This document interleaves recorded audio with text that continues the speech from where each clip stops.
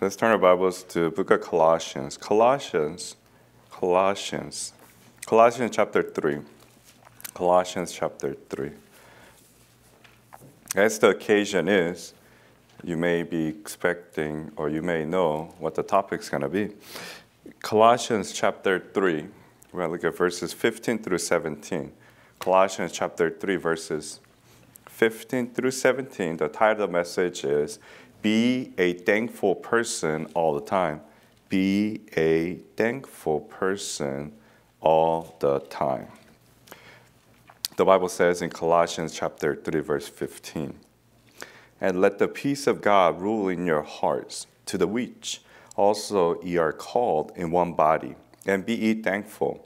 Let the word of Christ dwell in you richly in all wisdom, teaching and admonishing one another in psalms and hymns and spiritual songs, singing with grace in your hearts to the Lord.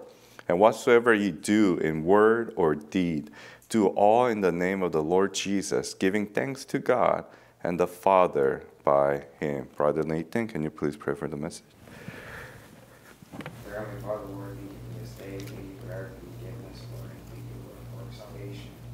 Father, and also thank you for the trials struggles that she gave us. And not the trials and the troubles that she gave us, we really, really, we really wouldn't know what it means to put our faith in you, to trust you through it all. Father, I pray that you be there for this sermon. I pray that you speak to Pastor Chetty. Help him, Lord. Give him the words of to say, Lord. And change us, Lord. Direct our hearts so that we may keep our eyes and our hearts and our minds focused on you and on you alone. I pray all this in Christ Jesus' name I pray. Amen. be a thankful person all the time.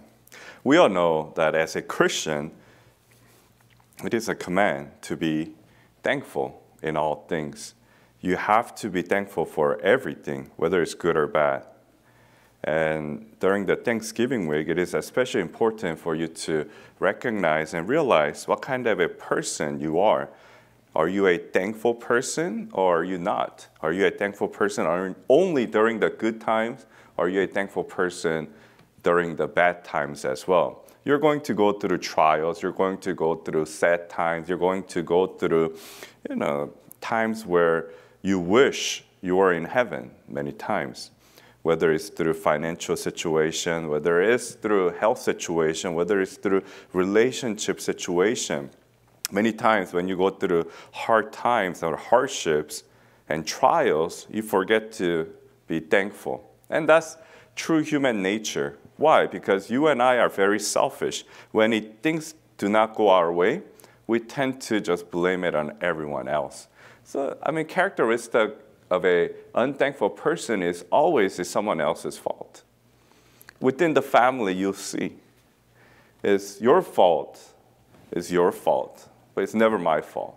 It's your parents' fault that you're not rich. It's your parents' grandf uh, so your grandfather's fault, your grandmother's fault that you don't have nice stuff. And people start complaining and complaining and complaining when it should be a time of thanksgiving, which should be every day, people are just complaining. And I'm not talking about just worldly people, I'm talking about Christians. Right. So many Christians, you think you are entitled because you're saved. I mean, the only thing differentiate you and the world is that you're not going to hell. That's it. You have everything else. I mean, you're going to have trials in life. Just because you're saved, you're going to be prosperous, just like everybody preaches nowadays. Because you accept Christ as your Lord and Savior does not mean that you're going to be a millionaire within a year or two. You probably may lose everything if you expect it that way. And the Lord wants you to recognize that you gotta be thankful for the fact that you're saved from hell. I mean, as Christians, we have many simple things that we need to be thankful for. I mean, obviously, first thing is salvation. I mean, you have to be thankful for your salvation. It's rhetoric, it's cliche to a point because so many people make it that way. They make it seem like that's like nothing. You know, they don't concentrate on the first thing that saved you from hell, which is by trusting Christ and through his blood you're saved, but you forget. And then you worry about everything else. You worry about, you know, my children, you know, my job, you know, my health, but you never are thankful for the first thing that you should be thankful on a daily basis, which is your salvation. If you don't do it, then everything else is always messed up. You know, we use this illustration a lot. You know, if you want to set the puzzle right, you know, you have first few puzzle have to fit correctly. Rest of them, you know, wouldn't matter if first few do not fit correctly, if it's not in the right place. You have to be remembering what Christ had done for you. I mean, number one thing is that he shed his blood on Calvary and died for you. So if that's not a reason for you to be thankful, then you have no reason to be a thankful person. Then how are you different from the whole world? How are you different from rest of the world? How are you different from this all these complainers and murmurs out there? When you do not give thanks to God, then you're same as though any worldly person out there. Yeah. Simple as that. There's no difference between you and say, you know, some sinner, unsafe sinner out there who always complains and murmurs.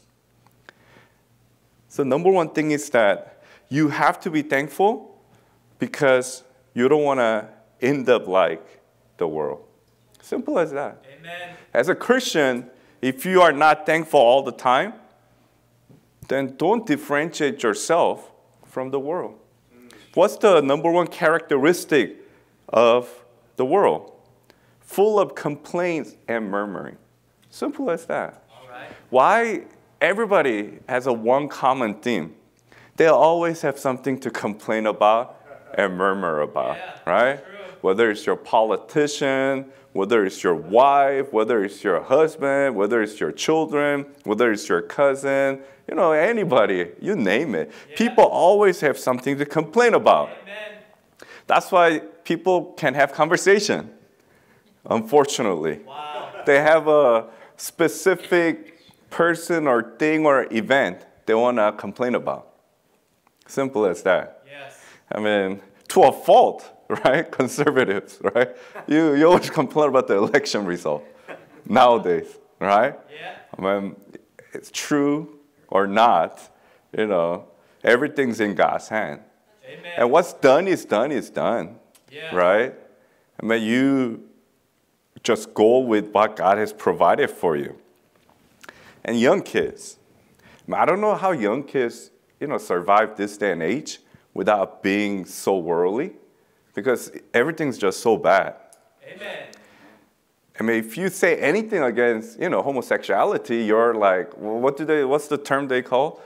Uh, you're canceled. I mean, everybody's canceled nowadays, and everything's so politically correct. If you say anything against transgender, you're canceled, right? right? And what is it? If four or five year old needs to agree with transgender you know, homosexuality. I mean, we're talking about four or five-year-old kid. Yeah, they have no understanding. Yeah. But you brainwash them, and if they say no or anything, and then you see them as, you know, cancelable items. I mean, that's how wicked the world has become. Yeah. However, you're no different than those world if you're not thankful.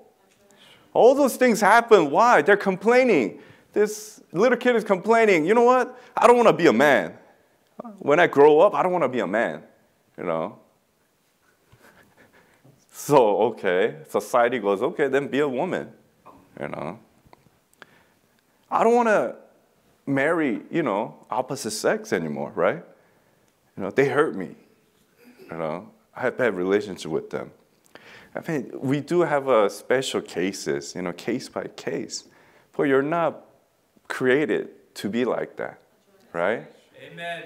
So you complaining to the world and your creator and everybody that, oh man, Lord, you know, opposite sex is not right for me, so I have to go with the, you know, same sex. That is not how God made you. Right. That your complaint has put you in the gutter. And the Bible has like a full summary of it. Let's turn our Bibles to the book of Romans. Romans chapter 1. Because the world is not thankful to its creator, which is Lord Jesus Christ, it just continuously goes downhill. Yes. Romans chapter 1. We're going to look at verse 21. Romans chapter 1, verse 21. The Bible says, Because that when they knew God, they glorified him not as God, neither were thankful, but became vain in their imaginations, and their foolish heart was darkened because they weren't thankful, because they did not glorify God. What happened? They just went into their wicked imagination. And verse 22 professing themselves to be wise, they became fools. And the what are the results? Look at verse 24. Wherefore God also gave them up to uncleanness through the lusts of their own hearts, to dishonor their own bodies between themselves, who changed the truth of God into a lie, and worshiped and served the creature more than the Creator, who is blessed forever. Amen. For this cause God gave them up unto vile affections, for even their women did change the natural use into that which is against nature. So it's against nature, right? Yeah. So homosexuality is against nature. Verse 27 likewise, also the man, leaving the natural use of the woman, burned in their lust one toward another, man with man, working that which is unseemly, and receiving in themselves that recompense of their error, which was meet.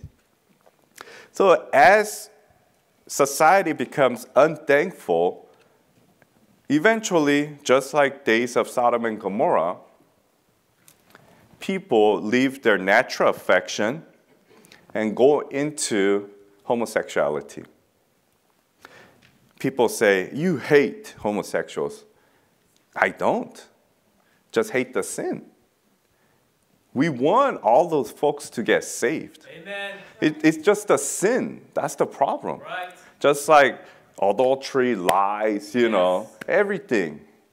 But that sin is so wicked that God had to send down fire and brimstone to destroy it.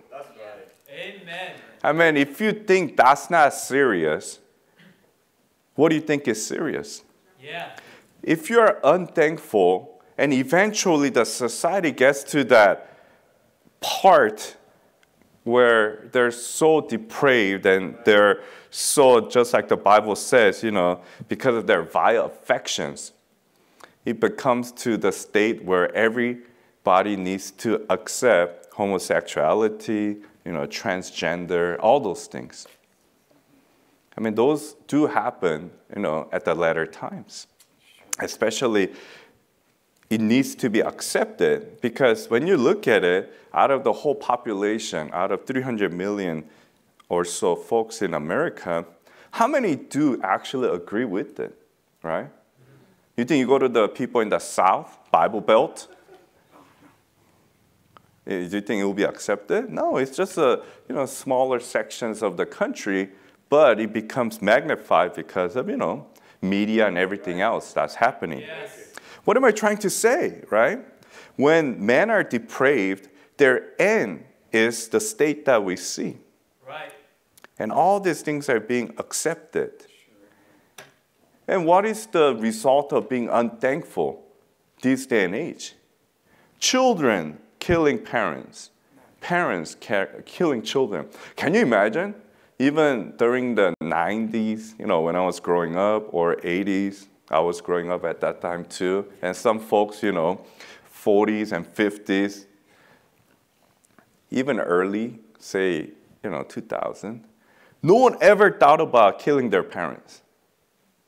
I mean, there's always serial killers out there, but looking at the general, you know, public, they always had respect for their parents. Yes. Even if they were drunkards, right? Even if they weren't the best mom or dad, they appreciated the fact that, you know, through them they came into the world. Man, you know, we had a lot of deadbeat dads out there too, so some people don't even know who their fathers are. However, they didn't have in their heart to just go out there and kill them. This day and age, we hear this is common story right? Some kid, you know, has a gun, and because their parents didn't give them what they want, money or video games or whatnot, and they just shoot them. Their grandma did not appreciate or, you know, how they're behaving, and they shoot them.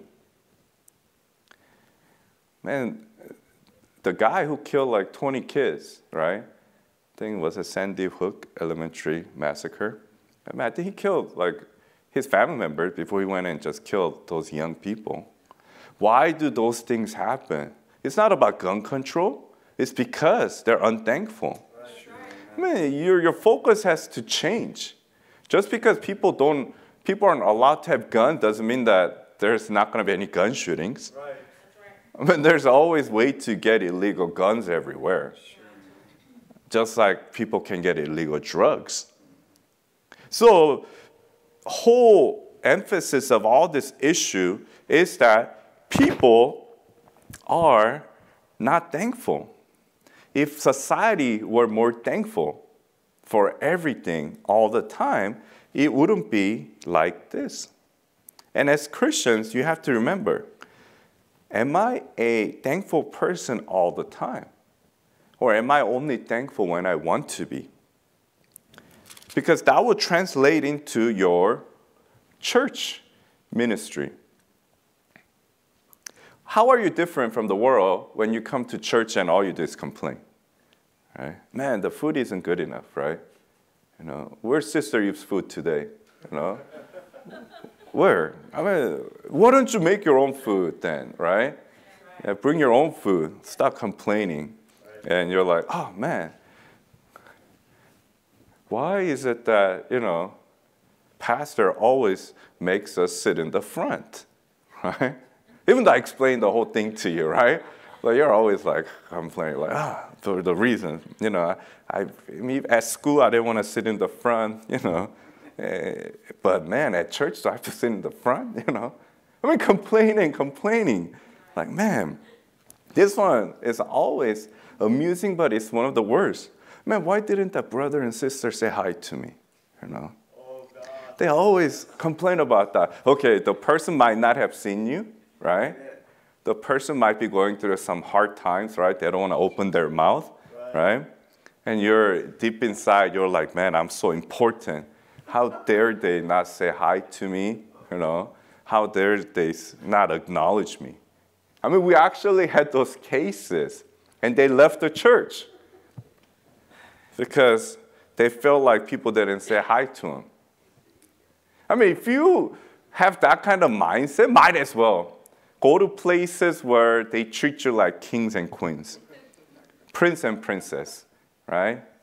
Just go there. You know, don't expect that from a Bible believing local church because you are creating an environment toxic environment, chaotic environment, you know, confusing environment, which God detests.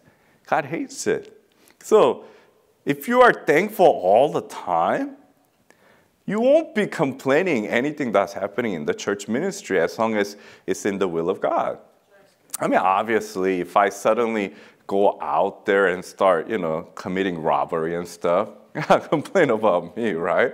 You know, why am I still in the pulpit, right? You know, what? I mean, if I'm doing some witchcraft out there, hey, you know, complain about me all the time. Yeah, I mean, that's legitimate. But for church policy, for how the preaching is done and how the church is run, and the characters of people, you know, there's no reason to be complaining for the leaders, right? Right. God uses people. Think about Moses. Moses had a fiery anger. Don't you think people complain about his, you know, fiery personality? Yeah, right. And those complainers were dead, yeah. or God took care of them. Right. Because God uses people with different characters. Yeah, true. nobody's perfect, you know Amen. it. I know it. I sin, you sin, everybody sin. It's just that there's a role that God puts each person in. And you should never be jealous of that role, envious of that role, and you should never look down on that role as well. What does that mean? I mean, we have, you know, Sister Maria, right, volunteers to, you know, clean up bathroom, right? I mean, who loves to volunteer cleaning up bathroom? I seen some stuff, man. I don't even know why I saw those stuff. And people just don't flush all the time. And I had to witness it, I don't know, a few times at the church. And then I give all the you know, credit to folks who's cleaning it up. I mean, I cleaned it up in the past too. I mean, I can't just let it sit there, you know. But someone's actually out there because they know, they're thankful that whatever I can do in the ministry, I can give glory to God and give thanks to God about. Whether it's picking up a trash, whether it's cleaning up even little things, when you have a thankful heart, God blesses it. And how do I know God blesses it? Because of your heart's attitude, I get blessed by it. When people are thankful, other people around you get blessed by it naturally. But when you're a complainer and murmurer, other people around you, they feel sick. They feel like I have a canker sore right next to me. Yeah. And you know, canker sores hurt, right? Yes. I don't know if you guys ever had a canker sore inside your mouth, outside of your mouth. It's very, very painful. And imagine the brother talking to your sister talking to you is just creating that canker sore to get bigger and bigger. But that's what's happening inside the church with all the complainers and murmurs in the church about from the leadership all the way down to everything else and in between and the food and stuff. You should be just thankful. Imagine if we only had like a, two things to eat for lunchtime, yeah. right? Seaweed and rice. And maybe bring some bring some soy sauce, right? Feel good. I mean, sriracha sauce, right? Oh, it's, it's in demand, right? You can't find it anywhere. You just have sauce, rice, and something. Would you not be thankful? Come on. Would you be? I mean, think about it. Just give. Just think about your first reaction. You're like, "Where's that meat? You know, where's that other stuff? Right? Where's? I mean, we have like how many like I don't know, 15, 20 different you know, yes. dishes out there. Yes. And imagine one day, I'm like, you know what? Let's just give everybody just a rice and that's it, you know, with some salt. People, you, you, you hear this, the place will go crazy, right? like, where's everything else? You know, that's the kind of hearts that you and I have. We always want something more, and if it doesn't fit our criteria and our want, First thing we do, instead of thanking God for what you have yeah. and what you do not have, you complain to God right away. Then, how are you different from the world? How are you different from unsaved people out there? Many people don't want to get saved because you, me, we're the biggest complainers. Can you imagine? Yeah. This person, uh, I mean, Brother Nathan witnessed to some guy you know, because he came up to him because probably his character showed that he was different from others. But imagine if he was same as everybody else, foul mouth, right? Complaining about the bosses all the time, complaining about the coworkers all the time, complaining about the shift all the time. I mean, this guy does graveyard shift. I mean, it's more than graveyard, right? If you work from like 10 to 10, you know, or beyond that sometimes. But if you don't complain and you're thankful for the opportunity, people see. And people, from what I understand, brother, like they reached out to you, right? The guy who got saved. He didn't even have to do anything. He wasn't the first one reaching out to them. God actually moved the other person's heart to reach out to him to get saved. And he got saved. And he was a Catholic. Think about it. Those things do happen if you are thankful. If you're not thankful, forget about it. Because many folks here and people who are listening, you go to work. And all you do is complain about this person, that person, and all that. I mean, and when you try to share gospel with them, they'll be like, What? What are you different from me? You complain about everything else. There are bad bosses out there, definitely, right? You know, but if God has given you that boss to work under, and until he gives you a better situation or better, you know, area to work out of, then you just accept and go on. Ask God for wisdom, ask God for strength to go on. Even students too. You might get a hard teacher. Well, are you gonna always complain? Man, my journalist journalism class is so hard because teacher is so hard. You know? he never gives nobody an A. And in my family, if I don't get A, you know, I get canceled. You know? oh man. That's what happens. I, actually had a class where the dude goes, I'm not giving you A. Beginning of the class. You know, I'm not gonna give you guys A. I only give A's to you know Harvard students. I'm like, okay. And I didn't get A in the class. So I mean he just flat out said it. I mean that was before I got even saved, you know, and stuff. But there are people like that out there. I mean, but are you gonna just complain about it, especially if you're saved? If I wasn't saved, if I was saved like the world, yeah, complain is, you know, part of my plate. I'll just eat it. Man, that, that jerk professor, right? And then guess what? Everybody's gonna be understanding. Yeah, he's a jerk, he's a jerk, that jerk, that jerk, jerk, jerk, you know. But what's that get to you, right? Nowhere. You just become, a, you know, sore loser, right? Amen. You didn't get what you wanted. As Christians, we can't be sore losers in front of your own family, in front of your brethren, and in front of especially unsaved people out Amen. there. Yes. Don't ever fall into that pitfall. Because devil's gonna always create it right next yes. to you. Because man, when it comes to bad news and bad stuff, people get drawn to it. That's true. And you do not want to be entangled in that web. It might be true. Many times it might be true. But think about would that bring glory to God by you saying those stuff? Unthankful stuff. Right. Probably not. Most certainly not, right? I mean, if they blaspheme against Lord Jesus Christ, yeah, you speak against it they speak against King James Bible, you speak against it. Yes. But how many at work talks about King James Bible? I mean, be true, right?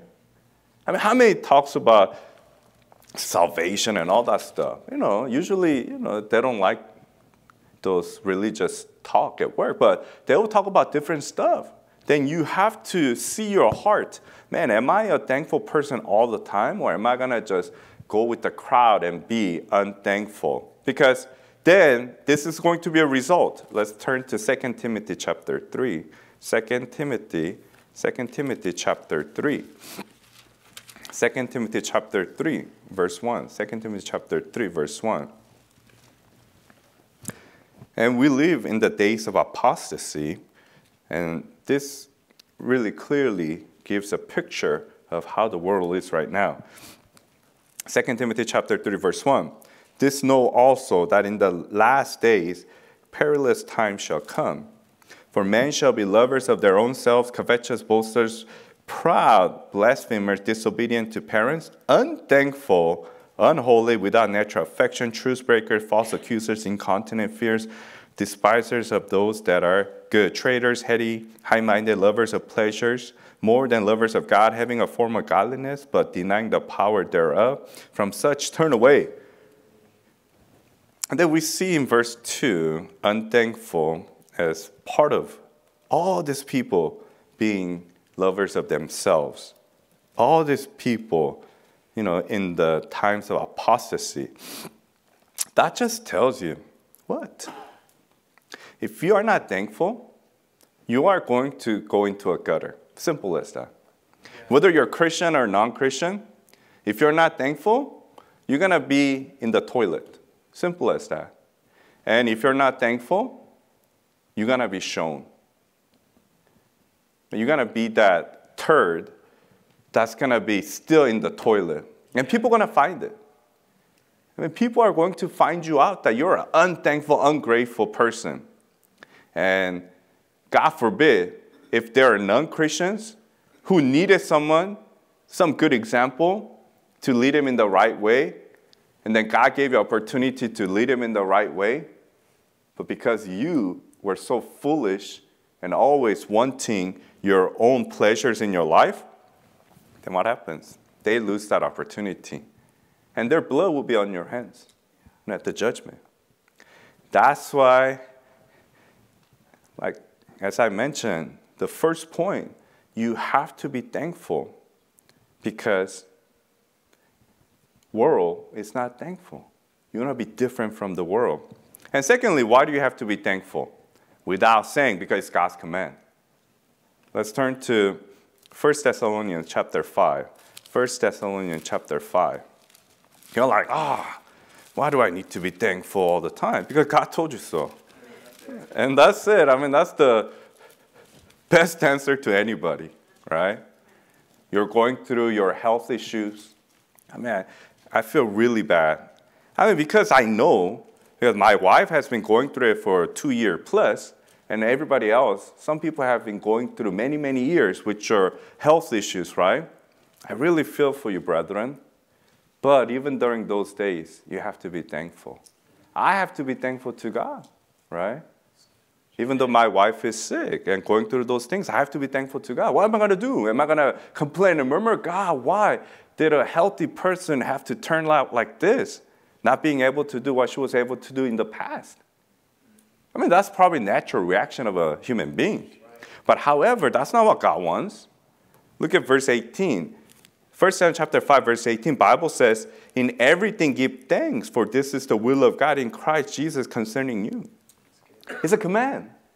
God said, Be thankful through the bad and through the good whether you're sick, whether you're healthy, whether you're rich, whether you're poor, you have to give thanks to God. Amen.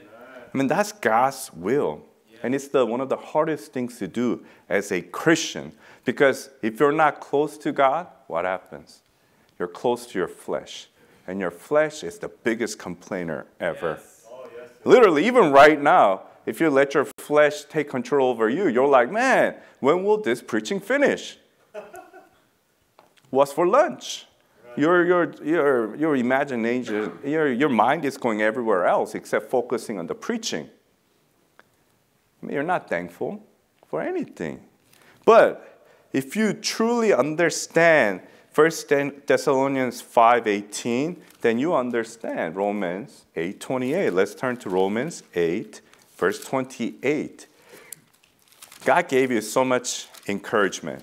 God has taken care of you. And God has saved you from hell. And God said, you know what? I'm going to, no matter what happens, I'm going to provide your need. I mean, how can you not be thankful for whatever situation you're in? Romans 8, verse 28, the Bible says, and this is written to save Christians. You and I, if you trust that Christ as your Lord and Savior. Romans 8, 28, the Bible says, and we know that all things work together for good to them that love God. Bible says all things. Did it say good things? Did it only say bad things? Bible says all things work together for good to them that love God, to them who are the called according to his purpose. These are the people who saved, saved Christians. So whether if you're going through certain things, sometimes it's because of your sin. Sometimes it's because God wants to get glory from you so that you'll be a good testimony to others. Bible says, all things work together for good. Man, that's tough, but that's a great verse to hang on to. Yes. That's great verse to be your life verse. I mean, that's one of, that's like my life verse. Why? Because life is not as, you know, straight as you want it to be. It's not as smooth, right? Especially as you age, as you grow up, as much and especially if you want to do something for God, devil's going to attack you harder and harder. Then you'll never have a straight road. You're going to have detours, you're going to have ups, and you're going to have downs. But through it all, you can give thanks to God because of verses like Romans 8 28. Lord, you know, I'm going through such a hard time right now, but I can still give thanks to you. I mean, it's your command, but more than that, from my heart, I know all of this will work together for good. And I mean, if you never experience it, don't try to empathize with people, right? You know, it's not even like, just, you should never be that Christian who have never gone through it and trying to judge people, right? right. You should never. That's a false humility. Yeah, hey, you know, I know, I know you've been going through some hardships, right? But I understand. You don't. Sure. So don't say such a stupid thing. Right. Yeah. Also, you broken your leg a few times? Oh, no, no, no, no. I, I just sprained a couple times, you know. But I know exactly what you're going through. You don't. oh, brother, man, you know, sister, I know what you're going through. Well, so you're broke? You know, you had zero cents in your bank account? You know, negative? Oh, no, no, I always have money in my bank, but, you know, I know what you're going through, you know. I'm, am like, you know, someone's going through a real hard breakup. I know what you're going through. You know? Did you have, you know, breakups in your life? No, no, no, no. I, you know, I was blessed, you know. I met somebody and got married and everything's good now, you know. I mean, and people think that that's actually encouraging other brethren. No, you're doing worse. You pray for them. Amen. That's it. Yes. I mean, it's better to not open your mouth sometimes. Amen. You know, I, some, I, I mean, I heard a story where someone dear to Dr. Ruckman, you know, and there someone passed away, devastated. Dr. Ruckman just went and, you know, weep with that person, you know. Just weep together, that's it. He didn't say a word. Sometimes that's all you could do. Yes. I mean, if you feel other person's pain, right? I mean, you just weep together. You know, you cry together. That's it. No reason for you to say some stuff that, you know, it's not going to really help the other person. That's why when Lord says be thankful, you got to be thankful for everything. But as a Christian, you shouldn't be judging others, right? right. who you feel like they're not thankful, just pray for them. Amen. Right? Amen. It's not your job to be like, hey, I mean, of course, if you see little children, you know, acting badly, right? When they receive something and they're not thankful, you, you point it out, right? Yes. But adults, for different reasons and different circumstances that they're going through, don't be that person, right? Just because you're going through the good times, right? And then other person's going through the bad times. You're like, oh man, that bad time person should be thankful for everything. How do you know if you're going through the same situation? I mean, have you lost your wife in the past? I mean, some people are so ridiculous. A brother loses his wife for many, many years, and they think that, hey, just get on with your life, man. Lord's going to provide you. If you need another mate, you know, just go on, man. Stop being sad. I mean, are you stupid? I mean, have you lost your wife in the past? If they did not they had that attitude, they're still stupid, right? I mean, Amen. but usually people who go through those kind of, you know, very, very traumatic events in their life, they understand before they say it, they'll be like, hey, you know, brother, you know, take your time, you know. I mean, all I, only thing I could share with you is like Romans 8:28, you know. God promises, right? Everything's gonna be aligned, you know. Everything's gonna work for good. If you need any prayer requests, brother, just let me know. You just go like that. Don't be someone who tries to give advice after advice after advice. To them, it's like poison. I'm already hurting, and that you're giving me poison on top of my hurt. I have all these sores out there. You're throwing salt, right? You're making me more hurt. But because you're my brother and sister, I'm not going to just explode on you, right? You know, I know better. But people who are not thankful for everything, they're only thankful for the good times, can never relate to people who's going through the bad times. That's why you must be thankful whether it's good or bad. Amen. You should be more thankful when it's worse. Yes. Amen. Right? Yes. Then you'll truly understand that you need the Lord. Amen. Because very few will truly thank God when they're going through the toughest times. Right. The human nature is just wicked. You know God takes care of you, you know God's inside of you, yes. but you refuse to believe it. Mm. You know, Dr. Ruckman said that God's cure for anxious care is constant communication with God. When you are in constant communication with God, it doesn't matter. It doesn't matter whether God blesses you with a million bucks. It doesn't matter. God takes everything away. You're always thankful. You won't have any care in the world. Why? Because you know what God said in 1 Peter 5 7 casting all your care upon Him, for He cared for you. Your cares are on His hand. So if Lord said, just like Job said, right? God gives us and God takes us away. Same thing. But of course, you have to do your part. Don't go out of the context of the Bible and say that you're going to be blessed no matter what, right? We're not talking about those prosperity buffoons out there. We're talking about what the Bible says. Bible says, casting all your care upon him for he cares for you. You know God cares, right? I mean, who's going to care for you more than anybody in the world? Your wife? Your husband? Maybe. But someone who cares more for you than your husband and your wife, your mom and your dad, grandma and grandpa, and your daughter and, you know, your son.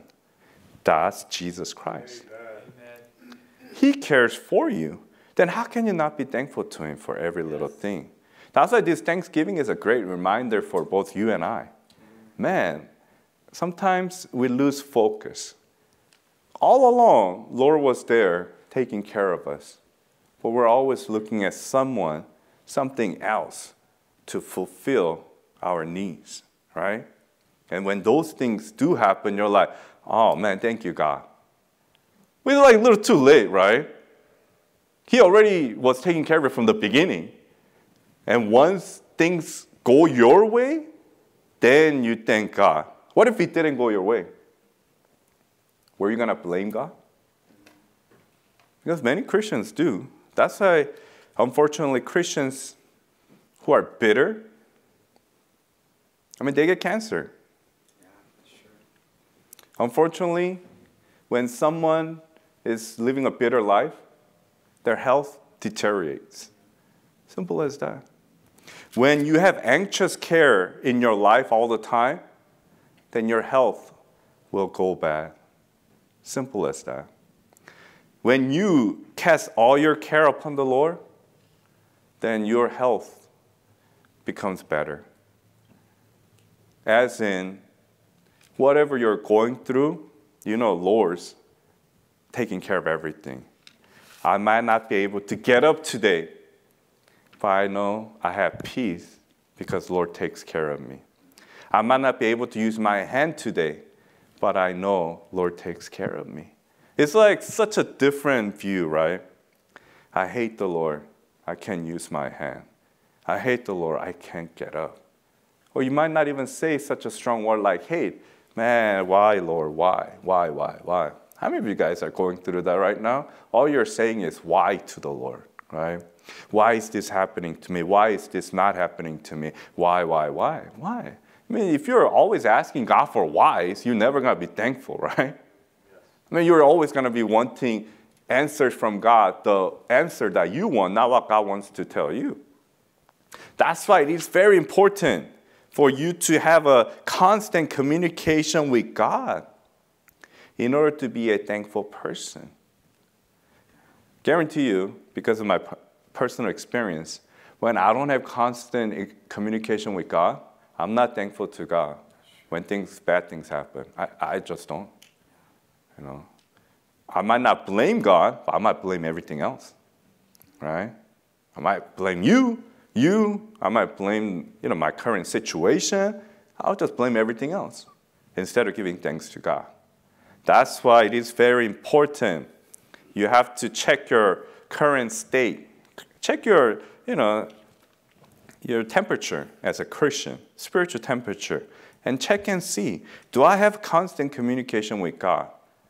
If you do, then you are likely to be a more thankful person than those who do not have constant communication with God. Then what happens? Two, there's going to be two conclusions in your life. If you're a thankful Christian, then anything that happens in your life, you're going to have peace. According to Philippians 4 6. If you're unthankful Christian, then you'll never have peace. According to Philippians 4 6. Because if you go to that verse, as we're going to go right now, everybody to Philippians 4 6, when you give thanks to God for everything, peace of God which passes all understanding.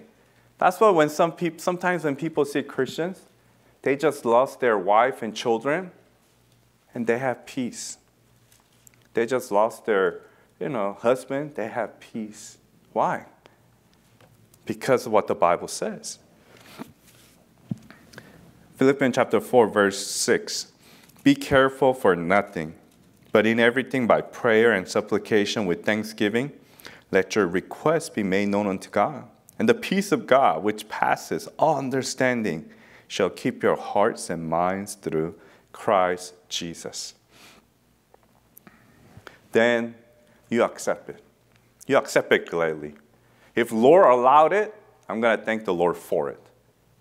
Simple as that. If Lord allowed this to happen, it's in His will.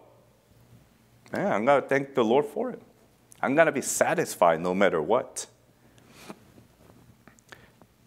And you're not going to look at any other. You're not going to look at someone next to you. You're not going to look at someone in front of you, behind you. Guess who you're going to look at the whole time? You're going to look at Lord Jesus Christ the whole time. That's it. Because whatever life throws at you, you know, someone who could resolve it and solve it is whom? Lord Jesus Christ. That's it. So that's why, man, I don't worry at all. This is what verse is saying. Why? Because I'm looking unto Lord Jesus Christ, and He's going to resolve it according to His will. If His will is that I go bad, I go bad. If His will is I go good, I go good. As in, you know, receiving good things, bad things, everything in between. And I'll have a perfect peace. Because whether I could get up or I can't get up, I'm going to look at Lord Jesus Christ. I'll be looking unto him for everything. And when you look unto Lord Jesus Christ, how can you not be thankful, right? You look at everything around you, you can't be thankful. Man, look at the world, man. I can't thank the world for nothing, right? But I can thank the Lord for everything. And how am I going to be able to thank the Lord? By looking unto him all the time if you want to be that Christian who's thankful person all the time, you have to look unto Lord Jesus Christ all the time. You have to communicate with him all the time. If you haven't, God gives second chance all the time, third chance. If we confess our sin, He's faithful and just to forgive us our sin and to cleanse us from all righteousness. That's the best part about being a Christian to me. I fail, I fall, I get right and I get up and I march on and continue. Let us all be a thankful person all the time. Remind ourselves during this Thanksgiving week. Let's pray.